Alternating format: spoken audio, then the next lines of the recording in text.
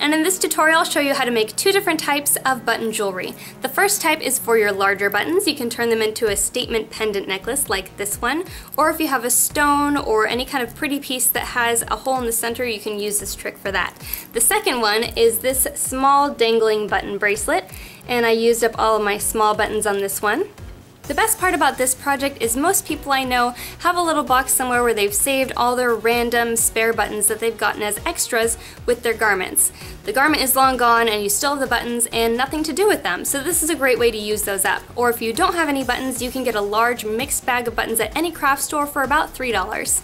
For this project, you'll need jewelry pliers, wire nippers, round nose pliers if you have them available, buttons, clasps, eye pins or head pins, jump rings, and chain. Start by measuring your eye pin, head pin, piece of wire, and make sure it's about three times longer than the width of your button. If you're using a head pin, cut off the end like that.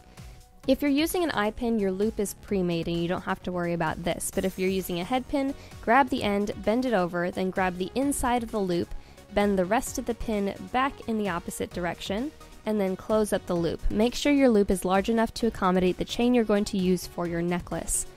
Next, you'll want to hold it up to your button and leave a gap between the top of your button and the loop on the end. Then you'll want to grab your head pin at the point where it intersects with the hole on your button, and then bend the wire sideways to make sort of an L shape with the loop at the top. Next, you'll want to bend it again, and you'll want to bend it at such a place that it's going to accommodate the width of your button.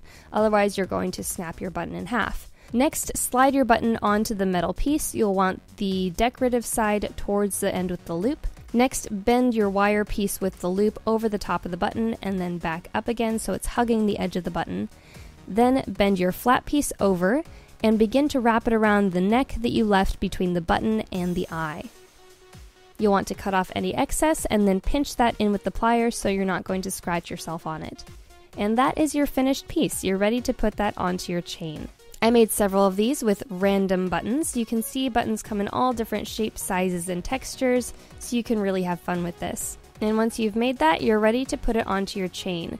You'll want to put it on the chain and then attach your clasp and a jump ring at the other end so that it's not going to slide off. And that is your finished necklace.